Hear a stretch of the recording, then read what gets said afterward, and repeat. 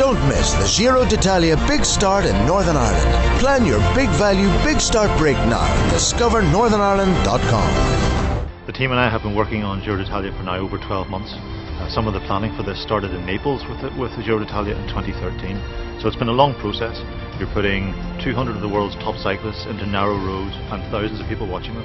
So all of that proves uh, a challenge for making safety arrangements for the riders, the participants, the spectators and indeed the people working on the event.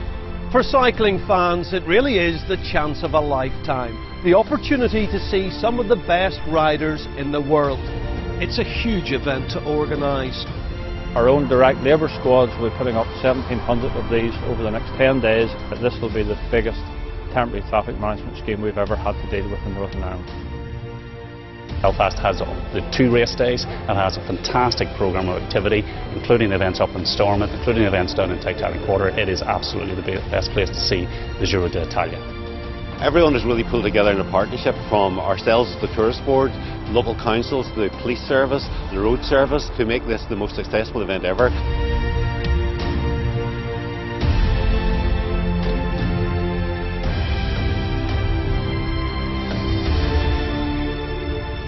Response has been tremendous. Uh, whether you're a business in the Newtownards Road or whether you're a community in North Antrim, um, putting all your sheep pink, uh, I think everybody has really entered into the spirit of it.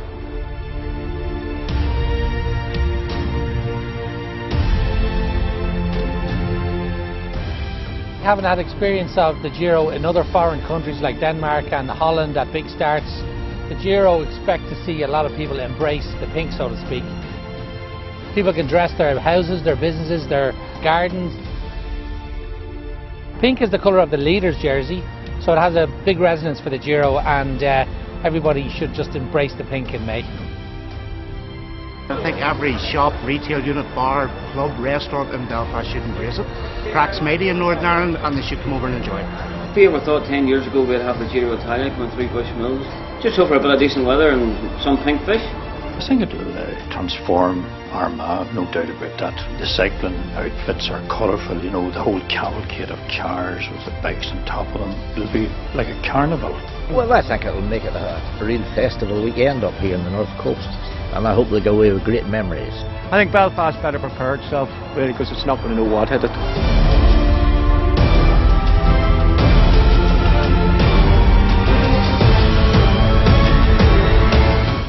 It's the world's greatest cycling race. Thousands of eager fans don their best pink garb and brave the rain as Belfast welcomed the Giro d'Italia to Northern Ireland.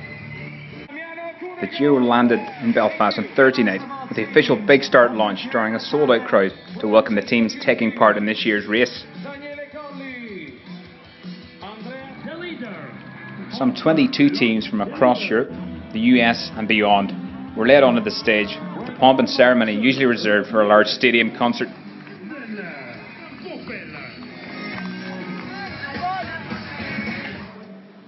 Almost 6,000 people packed into the grounds of City Hall, with hundreds more gathered outside.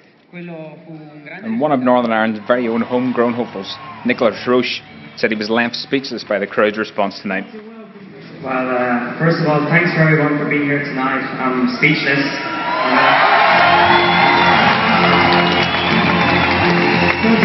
Speechless. I uh, I was expecting a warm welcome, but this is just uh, way beyond what I thought, so thanks again. Fellow Irishman Philip Deignan also took to the stage to welcome the crowd. See the day where I'll be able to start a grand tour in my home country, so, uh, so yeah, it's amazing. Over the next few days, more than 140,000 visitors are expected to descend on Northern Ireland. Friday kicks off three days of racing action across Belfast, Causeway Coast, Glens of Antrim, Armagh, uh, before finishing off in Dublin on Sunday. John Mulgrew, Belfast Telegraph. Don't miss the Giro d'Italia Big Start in Northern Ireland. Plan your big value Big Start break now at discovernorthernIreland.com.